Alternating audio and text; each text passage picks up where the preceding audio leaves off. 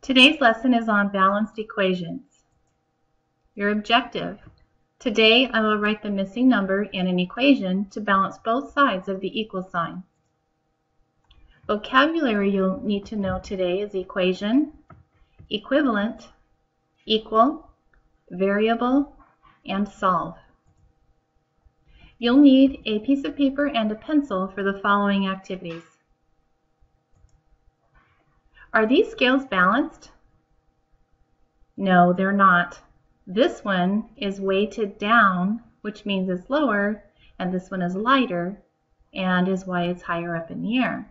They're not balanced. This is a sample of scales that are balanced or equal in weight. See how they're level all the way across? That means this side weighs the same as this side. Look at these scales. This side has 10 marbles in it, and the right side has 8 marbles in it. Are they balanced? No. 10 is more than 8, which is why it is weighing down heavier. Now how could we balance these two scales? There's a few things we could do. We could add two more marbles to this side. So 8 plus 2 more would be 10. Or we could take one marble from the left side and add it to the right, then they would both have 9. Look at these scales. This one had, the one on the left has 12, a weight of 12, and the one on the right has a weight of 6. What could we do to balance these scales? One of the things we could do is our goal is to make the right side equal to the 12. So what would we have to add to 6 to make it equal 12? If you said 6, you are correct. So 6 plus 6 is equal to 12. Now, both sides of the scales are balanced. The equal sign means that both sides of the equation are equal in value. They are said to be balanced. Are both sides of the equal sign balanced in this equation? 5 equals 2 plus 3. If we take a look at 2 plus 3, draw lines down from the 2 and the 3, and we're going to put what it equals down below, and it equals 5. Now we have 5 is equal to 5, because 2 plus 3 equals 5. Are they balanced now? Yes, they are. 5 is the same as 5. Are both sides of the equation, or equal sign, equivalent? Equivalent means the same. 3 plus 7 is 10, and 10 is equal to 10. They are equivalent. Make both sides of the equation balanced by completing the problem. Pause the video and work this problem out on your paper. Okay, now that you're back, we're going to take a look at this. We want to, first of all, you need to make sure that you can um, take a look at the side that is missing. There is a variable missing, or there is a number missing on this side. The uh, left side of the equal sign has a 2 plus 6. There's nothing missing. So we're going to deal with this side first. And I do want you to draw the lines down from each number we bring them down to a point. So that shows that we are going to add those two, num two numbers together. So 6 plus 2, or 2 plus 6 is 8. And then we need to look at the other side of the equal sign. So what I'd like you guys to do is to do equals, and then you need to put what it equals. There's nothing else to add to it, so 2 plus 6 equals 8. Now, if we put the 8 up in here, both sides are balanced. 2 plus 6 is equal to 8. Again, this shows how we've solved that problem. Make sure and draw the line down from the 2 plus 6 and then an equal 8. Um, make both sides of the equation balanced by completing the following problem. Pause the video, do this on your piece of paper, and then when you're ready, you can come back. So copy down the problem. 15 equals 10 plus some number. Pause the video. Okay, welcome back. Look at both sides of the equal sign. There's a 15 on the left side and a 10 plus something on the right side. Since we don't know what this number is at this point, it's missing. So what I would like you to do is bring down the 15 because we know that side equals, and then I want you to draw the line from the 10 to the empty spot down to a point. That's where you're going to write your answer. And we need it to equal 15. So if you're coming back up to the problem, 10 plus what is going to equal 15?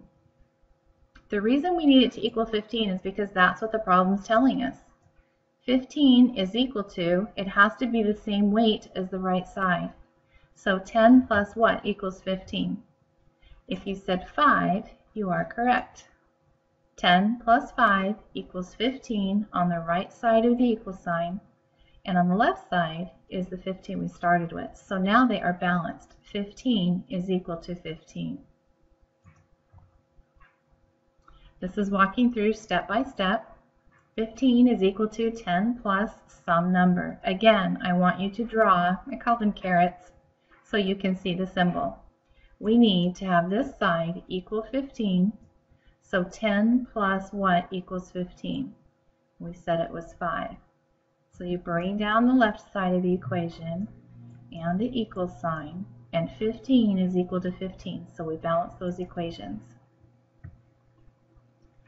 This is the same problem, but instead of a blank spot, we have a B in the space.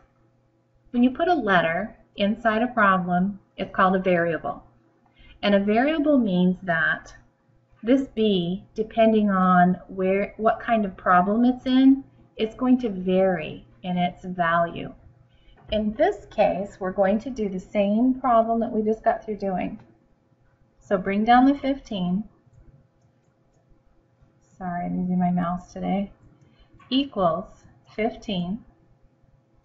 So 15 equals 15. We need 10 plus b, which means some number is going to equal 15. Well, what I'd like you to do is you can cross out the b, and we know that it's 5, so you'll do the math. 10 plus 5 equals 15. We substituted the 5 for the b. So your answer is B is the same as, remember that equal sign means they have to be the same. B is the same as 5. So where you see a B in the problem, you're substituting a 5 for it. And a letter is called a variable. Solve for the variable. Go ahead and copy this problem down. 2 times 8 equals A. I do want you to do the A even though you might know the answer to this problem quickly. Pause the video, do the caret like I've asked you to do, and then go ahead and when you're ready, push play. Okay, welcome back. The left side of the equation is totally there. There's nothing missing. The right side of the equal sign, something's missing. So we're going to solve for the left side first. What is 2 times 8? You're right, 16. Now, we have to make this equal sign right here means that both sides of the equation have to equal the same number. Okay, so the left and the right have to equal 16. We solved the side that did not have any missing numbers first. That's how we knew that the right side also has to be equal 16. So we have one variable, the a. Since there's no other numbers, we know that A is the same as 16. So when we come over here, we're going to say A is the same as, that's what the equal sign means, 16. Here's a new one. Solve for the variable. Remember, the variable is the letter, the unknown number. You can pause the video, work the problem, and then push play. Okay, the left side is missing. The right side doesn't have any missing parts, but it's not just one single number. So let's figure out the answer. 3 times 4 is 12. Now this one, the missing number is on the left, so it's a little backwards. We know that 3 times 4 is 12, so we're going to work from right to left. And y has to be, since there's nothing else there, y also has to be 12. Because our equation has to be equal. That's what the equal sign means. So there's no other numbers on this side, so that means y, in this case, has to be 12. We can check it. 3 times 4 is 12. That's correct. So y is the same thing as 12. Solve for the variable x. Go ahead and copy the problem. 2 plus 4 plus 2 equals 5 plus some number. This one's a little trickier. You can pause the video and then push play when you're ready. Okay, let's look at both sides of the equal sign. On the right side, we have a number missing. We don't know the value of that number. In order for us to find out the value of that number, we need to look at the left side. There aren't any variables on the left side, it's just numbers. So we need to find the total of these numbers. So do a caret from 4 plus 2 is 6, and then we're going to add the 2 down to that, and 6 plus 2 is 8. So if we finish our problem, 8, bring the equal sign down, is equal to 5 plus x. Now remember, this side has to be equal to 8 because the left was not missing any numbers. It didn't have any variables. So we figure out the value of this side. Remember our weights at the beginning. It's 8. And so the other side, in order for them to be equal, also has to be worth 8. 5 plus what number is going to give us 8? If you said 3, you are correct. 5 plus 3 is 8.